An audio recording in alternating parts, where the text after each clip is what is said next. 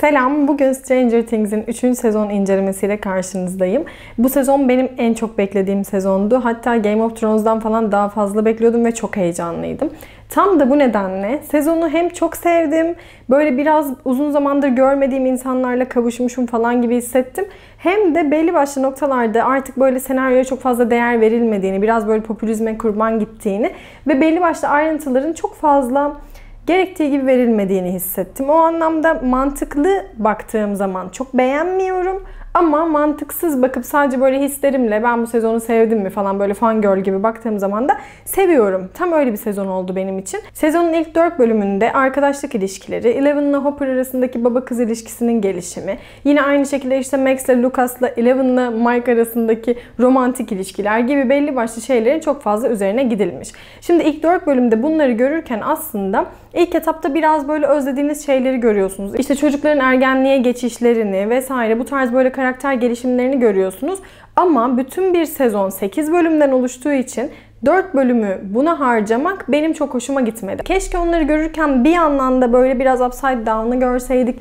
Bazı bilgiler verilseydi bize işte mesela Ruslar yapıyormuş bütün bunları. O Ruslar neden yapıyorlar bunu? Ne zaman buraya gelmişler? Ne kadar zamandır işte bu alışveriş merkezinin altındaki o tesisi kurmuşlar falan filan. Hani onunla alakalı bazı bilgiler veriliyor olsaydı belki biraz daha katlanılabilir olabilirdi ama artık o ilk 4 bölümde özellikle son 3 ve 4'te ciddi anlamda sıkıldım. Onun dışında bu sezonda genel olarak aslında çok klasik bir teknik kullanmışlar. İşte çok fazla bölünme oldu ekip içerisinde ve herkes ayrı ayrı kollardan konuyu çözmeye çalıştı. En son o bilgileri toparladılar. Yani bu çok klasik bir durum ama gerçekten işe yaradı mı? Yaradı. Bence hani ben keyifle izledim o herkesin yol alış aşamalarını. Onun dışında bu dizi zaten klişelerden beslenen bir dizi. Biraz böyle işte ustalara saygı kuşağı gibi görülen bir dizi. Dolayısıyla tabii ki yine işte E.T.'ye yok efendim Back to the Future'a vesaire göndermeler olacaktı.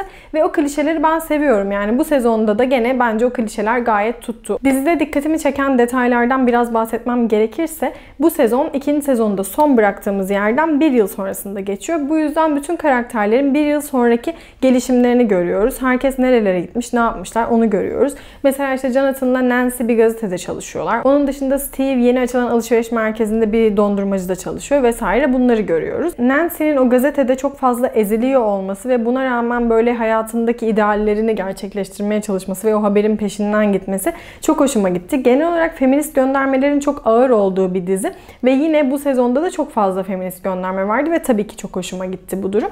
E, Nancy'nin de oradaki çıkışından sonra Nancy'nin annesinin onu desteklemesi ve işte bu işin peşini bırakma demesi bence gayet güzel bir detaydı. Orada hani biraz da 1980'lerde kadınların iş hayatındaki konumunu görüyoruz. Aynı zamanda da hala işinin peşinden koşturan ve ideallerinin peşinden koşturan. Bir yandan da o Stranger Things'teki Upside Down'la ilgili bir şeyleri ister istemez biraz aydınlatan bir karakter oldu Nancy. O yüzden ben o kısmı sevdim. Yine Eleven ile Mike arasındaki ilişkiye Hopper'ın bir etkisi oluyor ve o kısımları ben çok fazla sevdim. Zaten evde takılırlarken böyle Hopper'ın çok rahatsız oluyor olması, Mike'la geçirdiği vakitten huzursuz oluyor olması, bu konuyla ilgili bir şeyler yapmaya çalışıyor olması çok tatlıydı. Yine Steve ile Robin arasındaki ilişki çok tatlıydı. E, Robin'i zaten bayağı bir sevdim. Yani baştan sona sevdiğim bir karakter oldu. Sadece Steve ile aralarındaki o kadar hoşlanmaya, o flörtleşmeye rağmen en sonundaki işte o eşcinsellik açıklamasına çok fazla anlam veremedim. Yani o ana kadar hiçbir şekilde Robin'in eşcinsel olabileceğini bize düşündürmemişlerdi. Hatta birbirlerine karşı biraz böyle duygusal açılımlarda bulundukları kısımlarda da hiç aklımıza Robin'in eşcinsel bir eğiliminin olabileceği ya da biseksüel bir eğiliminin olabileceği gelmemişti. Ama orada öyle bir açıklama yapması bilmiyorum çok anlamlı mıydı? Biraz sempati oluşturmak açısından belki de Robin'i o şekilde göstermek bir Netflix tercihi olabilir gibi geliyor. Biraz da Will'den bahsedeyim istiyorum. Will diğer arkadaşlarından tamamen ayrılarak eskisi gibi kalmış ve bir kız arkadaşı olmayan tek karakter. Ve burada işte hala arkadaşlarıyla beraber D&D oynamak isteyen, ondan sonra tamamıyla çocuksu içgüdülerle davranan ve tamamen diğer arkadaşlarıyla beraber böyle o eski çocukluklarındaki gibi takılmak isteyen bir Will karakteri çizmişler. Aslında karakter gelişimine çok uygun çünkü ilk iki sezonda da Will çok daha çocuksuydu, çok daha böyle annesine bağlı. Diğerleri gibi çok işte zekice şeyler söylemeyen ne bileyim diğerlerinin bence tavırları biraz daha böyle 1-2 yaş daha yukarıda gibi dururken Will'in biraz daha küçük duruyordu. Yine aynı şekilde devam ettirmişler. Ben bunu çok fazla sevmiyorum. Yani o Will'in duygusallığı, kırılganlığı çok hoşuma gitmiyor. Çok sevdiğim bir karakter değil. Tabii ki yaşadığı travmalardan dolayı onu da anlamak gerekiyor. Ee, devam etmek gerekirse burada aslında zaten sezondaki en büyük olay Starcourt alışveriş merkezi ve onun altında Rusların kurmuş olduğu tesisti. Genel olarak zaten bu sezonda da yine o dönemin ruhunun çok iyi yansıtılması, müzikler, işte eğlence, ondan sonra insanların giyim tarzları vesaire AVM'de çok iyi gösterilmişti. Yani AVM'de çekim yapıyor olmaları benim çok çok hoşuma gitti. Biraz tabii ki kendimi daralmış gibi hissettim. Her şey o AVM'nin altından çıkınca yani her şey bütün alan AVM olunca birazcık sıkıldım ama onun dışında bence güzel bir fikirdi yani güzel de kıvırmışlar diye düşünüyorum ve çok renkli görsellerin olması e, benim bayağı bir hoşuma gitti. Starcourt'taki dondurmacıda Robin ile Steve beraber çalışıyor ve bir ara yanlarına Dustin gidiyor böyle bir ziyaret için ve orada diyor ki telsizden ben bir mesaj yakaladım. Bu mesajı işte Rusçadan İngilizceye çevirelim mi? Bunlar bizim ülkemizde çok kötü bir şeyler yapacaklar. Şifreyi Rusçadan İngilizceye çevirdiler ve daha sonrasında çok kolay bir şekilde deponun nerede olduğu, yok efendim buradan nereye nasıl çıkılacağı vesaire gibi şeyleri kolayca gerçekten çok basit bir şekilde çözdüler.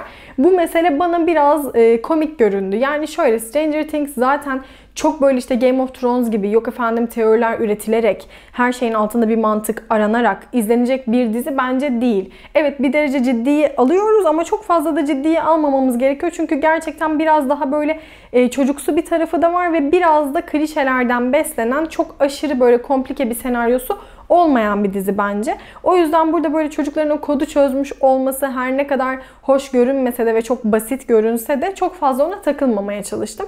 Fakat her şeyin en son çözülme aşamasında bu kadar kolay olması çok hoşuma gitmedi. Ona birazdan değineceğim artık. Bütün bunlar olurken bir yandan da Billy'yi görüyoruz. Billy karakteri geçen sezon hayatımıza girdiğinden beri biraz önemli bir rolün olacağını ben düşünmüştüm. Yani çok böyle sonradan bir şeyler çıkacak bu karakterden dedirten bir karakterdi. Bu sezon itibariyle de hem içinden gerçekten önemli bir şey çıktı hem de bütün o işte travmalarını gösterdiler vesaire. Karakter gelişimini bize birazcık verdiler. O karakter gelişimiyle beraber Billy'nin hikayesi bende gayet mantıklı bir şekilde oturdu. Bu sezonda zihin hırsızı diye adlandırdıkları canavar bir sürü insanın vücudunda kendine yer buluyor, konaklıyor ve bu konakladığı vücutlardan birisi de Billy'nin vücudu.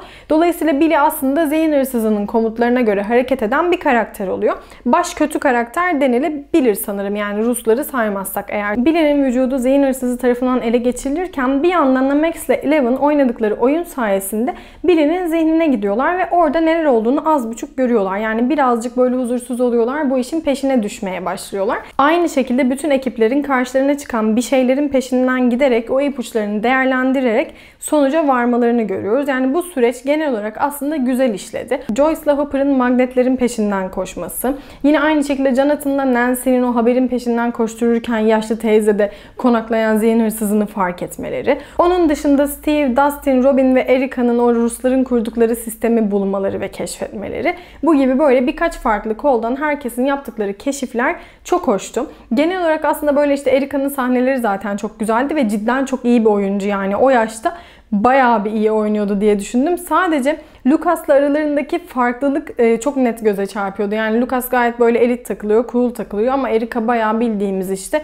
e, siyahi esprileri falan yapan, gayet işte e, o tarz konuşan bir kız. O yüzden tam manasıyla böyle abi kardeş ilişkilerini anlamlandıramasam da Erika çok sevdiğim ve çok tatlı bulduğum bir karakter oldu. Sezonda böyle çok eğlendirici ve tatlı olan detaylar olduğu gibi biraz mantıksız olan detaylar da vardı. Mesela Eleven'ın güçlerini çok boşa harcadılar gibi hissediyorum. Yani bir önceki sezonda koskoca kapıyı kapatan Eleven bu sezonda baya böyle işte yok efendim o arabayı oradan oraya çevireyim, şunu şuraya fırlatayım, işte vücuduma zihin hırsızı girdi onu biraz çıkartayım falan derken birdenbire böyle gücünü tüketti. Ve en sonunda baya baya hiç gücü olmayan bir Eleven gördük. Yani onu nasıl toparlayacaklar bilemiyorum. Bir sonraki sezonda büyük ihtimalle işte çok travmatik ve bir anda böyle güçlerini kullanması gereken bir şey olacak. Belki işte Hopper'ı bulmak için çıktıkları yolda yaptıkları bir şeyler olabilir.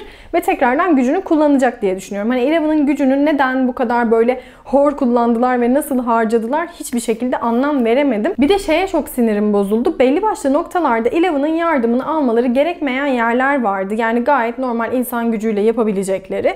Ama yine de onu bile beceremeyip işte Eleven'ın o çok gururlu ve güçlü tavrıyla tamam onu da ben hallederim falan diye böyle özel güçlerini kullanarak hallettiği kısımlar vardı. Oraları çok anlamlandıramadım. Yani bazı insanların da bir işe yarıyor olması lazımdı diye düşündüm. Hakikaten her şeyi Eleven'a hallettirdiler belli bir yere kadar.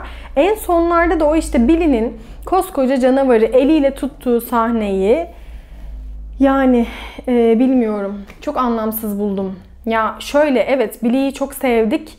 O sahne çok etkileyici bir sahneydi.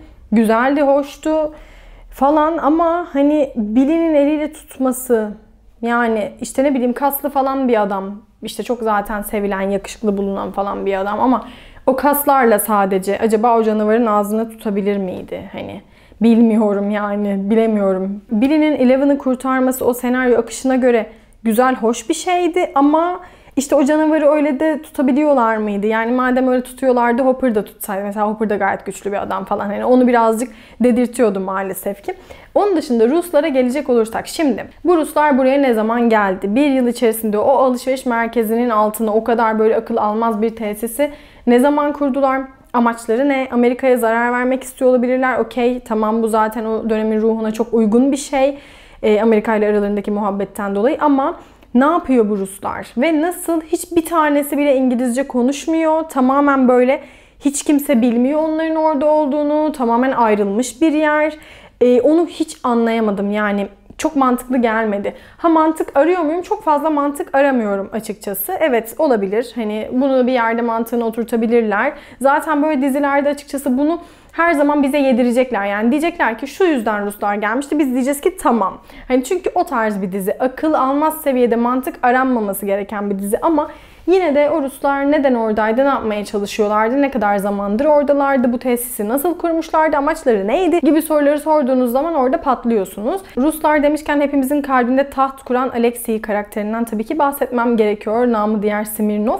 Ee, çok tatlı bir karakterdi. Yani onu iyi ki koymuşlar. Gerçekten o karakterin olduğu kısımlarda çok fazla eğlendim ve çok ciddi anlamda işe yaradı. Ee, kaybettiğimiz için de üzüldüğümüz bir karakter oldu. Ama bir yandan da en önemli böyle baş karakter de değildi. Zaten Stranger Stranger Things'te çok önemli adamlar ölmüyor. Ben bunu bu sezon başlarken düşünmüştüm. Dedim ki hani çok önemli insanları öldürmüyorlar. Çok önemli kayıplarımız olmuyor. Ee, olmadı. Yani şöyle bir şey oldu. Ben Hopper'ın ölümünde öküz gibi ağladım. Ciddi anlamda böyle ağlamak istemiyorum. Hani zaten çok fazla ciddiye almayayım diye içten içe düşünüyorum. Çünkü geri gelebilir. İşte Upside Down'a gitmiş olsaydı mesela oradan da geri gelebilirdi. Orada da hayatını sürdürebilirdi falan. Hani onları biraz düşündüm. Ama yine de böyle gözlerimden düşen yaşlara engel olamadım. Hani Hopper en sevdiğim karakter olduğu için. Ama sonrasında zaten öğrendik ki Hopper da ölmemiş. Onu da biraz bekliyordum. Sezonda beğenmediğim detaylardan biri de şuydu. Zihin hırsızı birçok insanın vücudunda konaklıyor. Okey tamam bunu kabul ettik konaklıyor. Ve bu insanlardan biri Billy. Billy'yi zaten çok aktif kullandılar. Ona da tamam. Ama onun dışında kalan insanları çok aktif kullanmadılar. Yani baya böyle zombi gibi yürüyorlardı falan. Gayet işte belli bir komutla robot gibi hareket eden insanlar. Ve o insanlar daha sonradan bizim karakterlerimizin karşısına da çıkmadılar. Yani böyle biraz o aradaki görseli verdiler. Biraz işte etkilenelim. Efendim zihin hırsızı kendi kendine bir şeyler yapıyor diyelim. Belli bir ordu kurmuş diyelim ve gözümüz korksun. Ama en sonunda kapı kapatılsın ve hiçbir yere varmasın. Yani o insanlar hiç efektif kullanılamamışlardı ve gerçekten zombi gibilerdi ya. Yani Billy zombi gibi değildi mesela. O zaman Billy niye zombi gibi değildi? Hani onu anlayamadım. Çok böyle mantıklı gelmedi o kısmı da bana. Ee, onun haricinde Hopper'la Joyce arasındaki ilişki benim ilk sezondan beri beklediğim. yani Stranger Things'i hiç böyle romantik ilişkiler için izlemiyorum. O upside down muhabbetleri, bilim kurgu muhabbetleri bana daha fazla hitap ediyor. Ben canavar görmek istiyorum. Ben öyle şeyler görmek istiyorum. Aksiyon görmek istiyorum ama Söz konusu Hopper olunca çünkü en sevdiğim karakter ilk sezondan itibaren Joyce'la gerçekten böyle aralarında bir şey olacak olması. O böyle yaşlarına rağmen işte birbirlerinden bu kadar tatlı bir şekilde hoşlanmaları, atışmaları çok tatlıydı çok çok çok tatlıydı ve biz onu göremedik. Bu sezonda da yine Hopper'la Joyce arasında bir şeyler olacakmış gibi davrandılar. Hopper'ın kalbi falan kırıldı arada. Hiç hoş değil ve en sonunda hiçbir şey yaşamadan e, Hopper'ı öldürdüler. Sonra baktık ölmemiş. O da ayrı bir mesele ama Hani o birazcık kalbimi kırdı benim ya. Yani bunu artık bir yere götürseydiniz dedim. Diziyle ilgili tek romantik kaygım buydu gerçekten. Onun dışında kim ne yapmış, kim kiminle sevgili olmuş, kimin kalbi kırılmış hiç umurumda değil. Tamamen aksiyon ve bilim kurgu kısmıyla ilgileniyorum genel olarak. Onun haricinde Rusların tesisinde yaşanan hemen her şey aslında genel olarak mantıksızdı. Neden mantıksızdı? Bir noktada mesela bize çok fazla asker gösteriyorlar. Çok kalabalık bir tesis. Nasıl koridorlardan geçiyorlar, kaç kat işte asansörle aşağıya düşüyorlar vesaire. Çok büyük bir yer. Ama bir yerde bizim ihtiyacımız olduğu noktada birdenbire bakıyoruz ki kapıda güvenlik yok. Ne bileyim işte Alexei açığa çıktı mesela. Onun açığa çıktığını biliyorlar. Adamı gayet öldürdüler falan. Ama Alexei'nin verdiği bilgileri biz kullanabildik. Yani işte Planck sabiti mesela. Orada işte şifreydi. Planck sabiti olan şifreyi Alexei'nin onlara vereceği ve işte o şifreyle oranın açılacağı çok belli bir şey. Madem öyle adamı öldürdünüz bir de gidin şifreyi değiştirin mesela. Hani bu bana biraz saçma geldi. Orada işte ilk Hopper şifreyi denediği zaman ben dedim ki zaten Alexei ortaya çıktı. Smirnov ortada şu an biliyorlar onun bilgileri verdiğini. E herhalde şifreyi de değiştirmişlerdir canım dedim içimden. Sonra bir baktım değiştirilmemiş şifre. Orada zaten o şifrenin bulunması için Dustin'in sevgilisi Susie'yi araması ve küçük çaplı bir müzikal izlememiz e, bu konuyla ilgili çok fazla şey söylemek istemiyorum. Yani şöyle söylemek istemiyorum. Müzikal ben zaten çok fazla sevmem. Bu dizinin içerisinde müzikalin ne işi vardı o kadar böyle minik bir parçada? Onu da çok anlam veremedim. Tatlı bir sahne miydi? Tatlı ve komik bir sahneydi ama o sahne yüzünden Hopper'ın ölmesine gerek var mıydı? Bence yoktu. Yani hani bilemiyorum. Orada da böyle bir işte sevimlilik yapayım derken mantıksız bir tarafa doğru da giden ama işte hala böyle fangirlüğümüzle de beğendiğimiz bir kısımdı herhalde. Bir de Dustin'in sevgilisinin var olduğunu ben ilk andan beri biliyordum. Tamam yani hani kimseyi inandıramıyor. Gerçekten biraz böyle fictional bir karakter mi falan diye düşünüyorsun. Ama değil yani varmış gayet de tatlı bir kızdı. Hani onu görmek hoşuma gitti.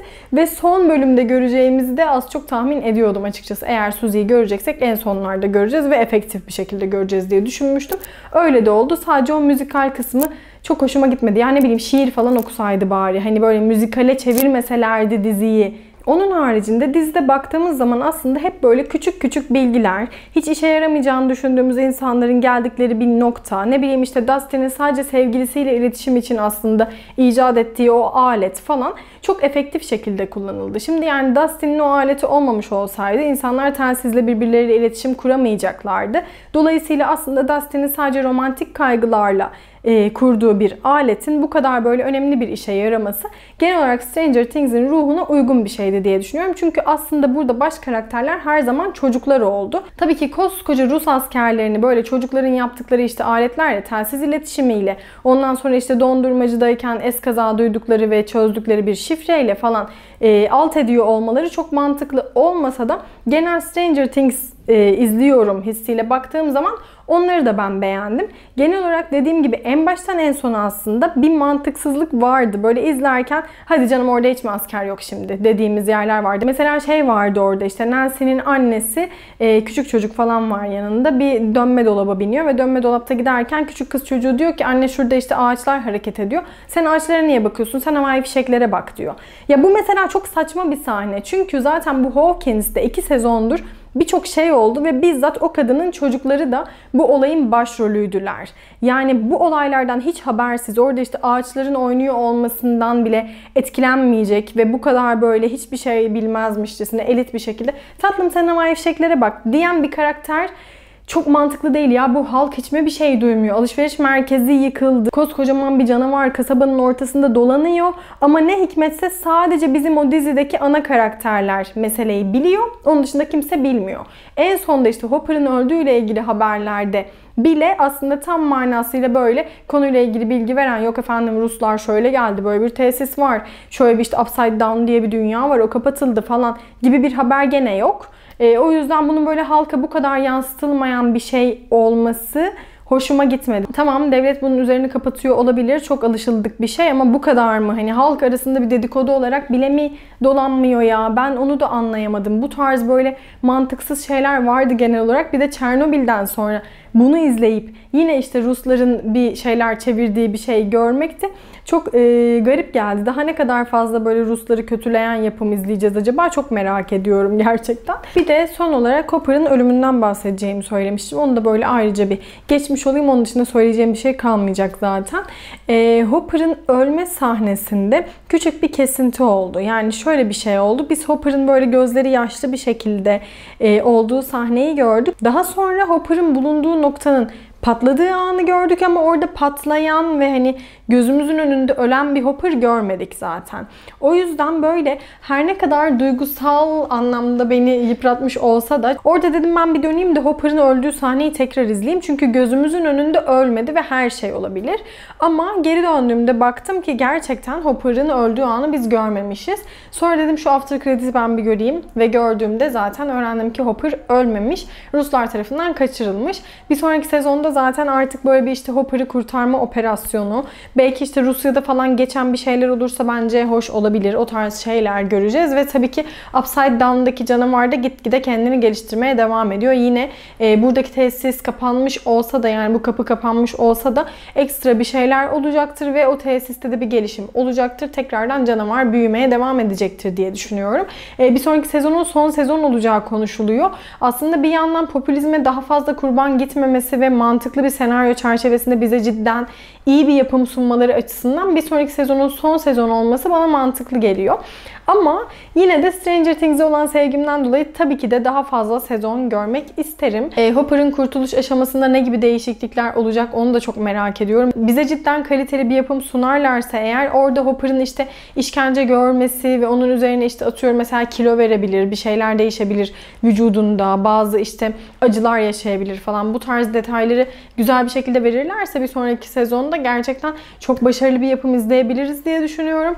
E, bu sezon mantık çerçevesinde çok iyi bir sezon değildi. Senaryosunda çok fazla boşluklar vardı. Dediğim gibi işte elin gücünü tüketmeleri vesaire e, gibi şeyler vardı. Rusların amacı belli değildi falan filan. Hopper'ın yine oradan tam manasıyla nasıl kaçırıldığı da belli değil aslında. Hani bu gibi boşluklar vardı ama genel olarak Stranger Things'i çok fazla özlemiştik ve e, görselleriyle, karakterleriyle yine de hani Biraz da olsa işte Rusları falan işin içine katmışlar. Aslında fena bir detay değil yani. Bize altyapısını verseler daha iyi olurdu ama yine de bu sezonun işte yarım yamalak senaryosuyla da olsa bence güzel bir sezondu. Yani daha da uzun olmasını isterdim. En azından bir 10 bölüm olsaydı biraz daha detay alsaydık çok güzel olurdu. Tadından yenmezdi.